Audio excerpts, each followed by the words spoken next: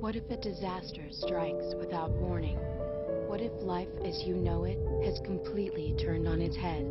What if everything familiar becomes anything but? Before a disaster turns your family's world upside down, it's up to you to be ready. Get a kit, make a plan, be informed today. Learn how at ready.gov.